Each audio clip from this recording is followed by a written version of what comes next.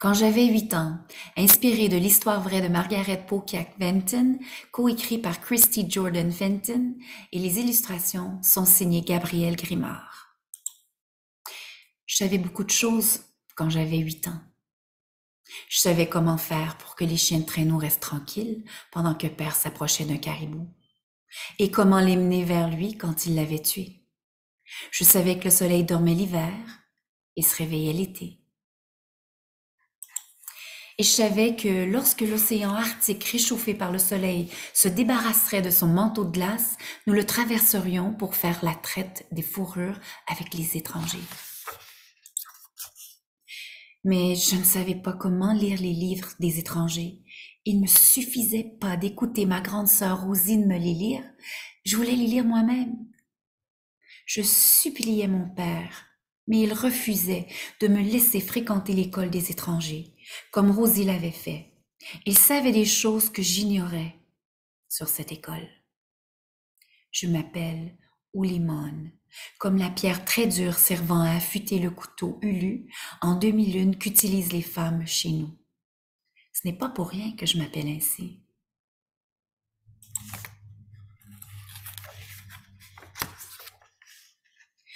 J'ai insisté tout l'hiver quand le soleil s'est réveillé de nouveau et que nous sommes allés faire la traite avec les étrangers, mon père m'a laissé à leur école, à contre-cœur. Une religieuse, vêtue de noir, m'a coupé les cheveux. Je me suis sentie toute triste lorsque mes tresses sont tombées sur le sol. On m'a enlevé ma parka. J'ai dû porter une robe laide en tissu mince et des sous-vêtements rugueux, ainsi que des bas trop courts pour monter au-dessus de mes genoux.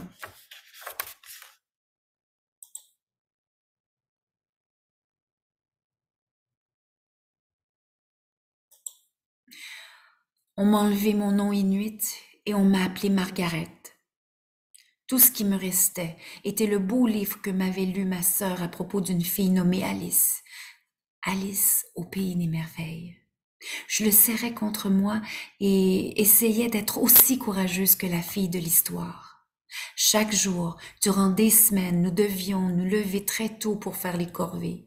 Au lieu de nous asseoir à des pupitres, nous lavions le plancher des classes, nous lavions les, murs, la vaisselle et les vêtements, puis nous allions à la messe. Je travaillais très fort, mais cela ne m'aidait pas à apprendre à lire.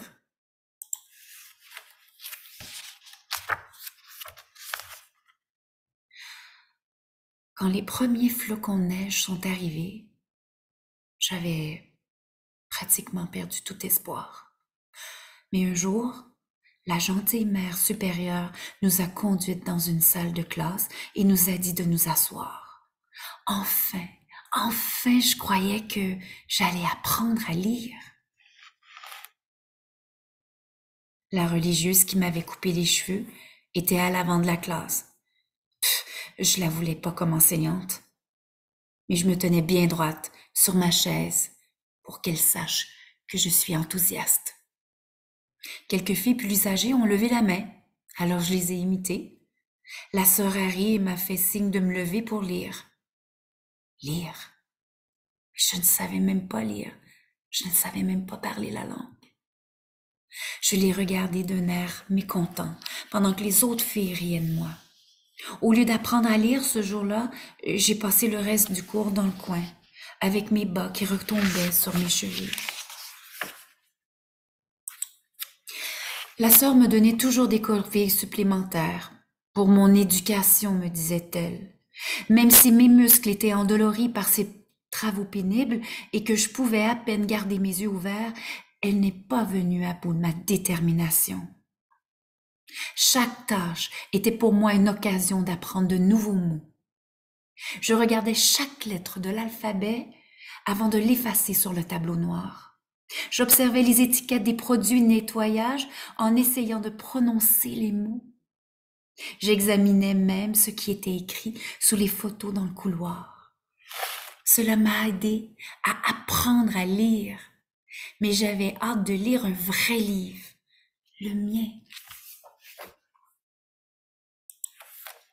Un soir, Je me suis empressée de manger mon bol de soupe aux choux dans l'intention de m'éclipser rapidement. Je n'en pouvais plus d'attendre. Pas si vite, Margaret. Il y a des casseroles à laver, m'a-t-elle dit d'un ton menaçant en m'entraînant dans la cuisine. Les bras, plongés dans l'eau jusqu'au coude, je n'ai pas plus pas pu du tout retenir ma, frustration. Je, pourrais être en train de lire, ai-je marmonné? Pardon? a dit la sœur. Elle a traversé la cuisine en faisant crisser ses chaussures et m'a plaqué contre l'évier. Un sourire a lentement étiré ses lèvres minces. Va me chercher un chou dans le sous-sol, m'a-t-elle ordonné.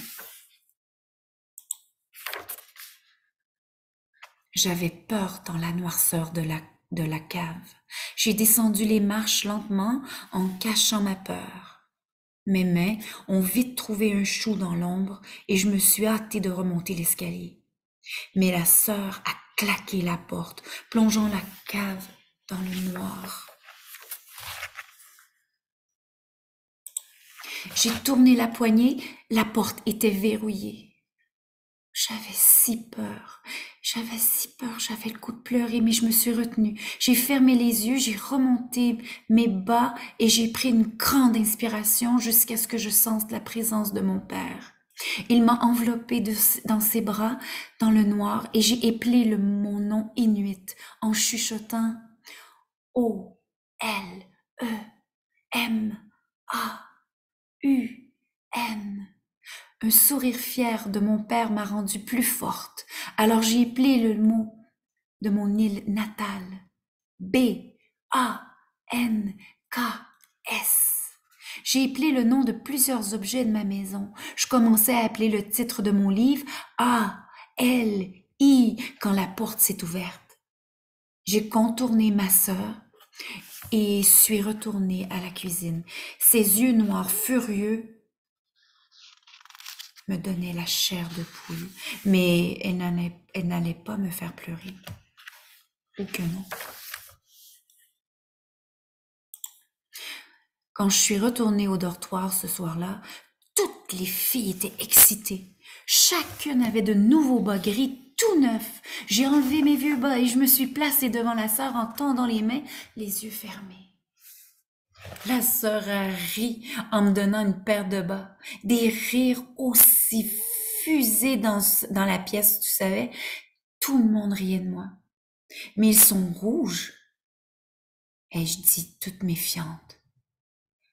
Mais seuls les clowns de cirque portent des bas rouges. J'ai couru à mon lit et j'ai ouvert mon livre. En retenant mes larmes, je regardais fixement les lettres jusqu'à ce qu'elles forment des mots ces mots ont peu à peu composé une histoire familière. Je pouvais presque entendre la voix de ma sœur qui me parlait d'une reine cruelle. J'ai laissé l'histoire m'emporter loin de des rires. Le lendemain matin, je suis descendue déjeuner sur la pointe des pieds, mais une fille plus âgée m'a aperçue. Et elle s'est mise à rire de moi en postillonnant.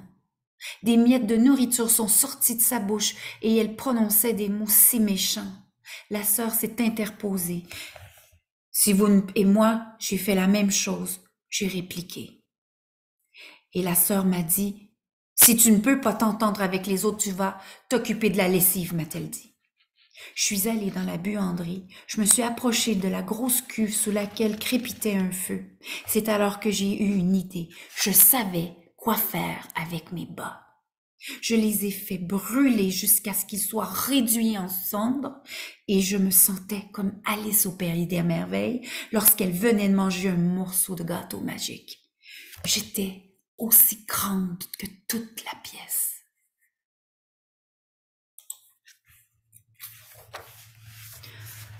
En voyant mes jambes, sans mes bas, la sœur s'est exclamée. Margaret, remets tes bas. Je ne peux pas, ai-je dit en serrant les dents et en croisant les bras. Pourquoi? me dit-elle. Je ne peux pas, c'est tout. Son visage est devenu rouge et là, elle a ordonné à tout le monde de fouiller la pièce, comme les gardes de la reine dans mon livre. Les filles ont cherché partout et ont retourné les objets. Les livres ont été arrachés des étagères et les couvertures des lits. Personne ne m'appellerait plus de vilains mots à propos de ces bas à présent. Aucune recherche ne permettrait de retrouver ces bas. Jamais.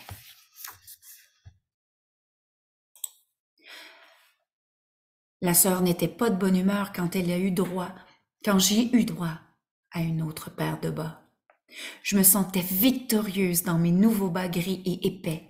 Lorsque je suis entrée dans la classe le lendemain matin, la sœur a plaqué un livre sur mon pupitre. C'était un livre vert, comme ceux des filles plus âgées. Page 34, a dit la sœur. Elle voulait me remettre à ma place.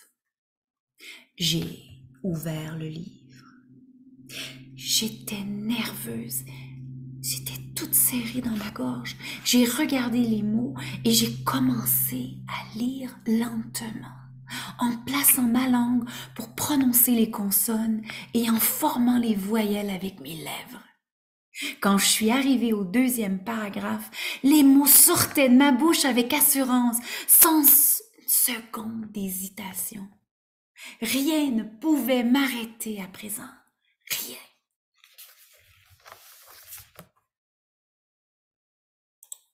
Après avoir terminé, j'ai levé les yeux.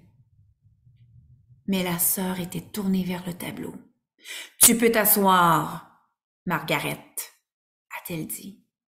J'ai ressenti une immense joie, mais je n'ai pas osé la montrer je suis restée très noble, très humble. Je me suis assise en silence. J'étais Olemon, conquérante de l'adversité, lectrice de livres. Comme Alice au pays des merveilles, j'étais une fille qui avait voyagé dans une région lointaine et inconnue pour affronter un tyran. Et comme Alice, j'étais courageuse, j'étais intelligente, et aussi solide que la pierre à affûter les hulu. Je le savais enfin, comme je savais beaucoup de choses. Beaucoup. Car maintenant, oui maintenant, j'étais capable de lire.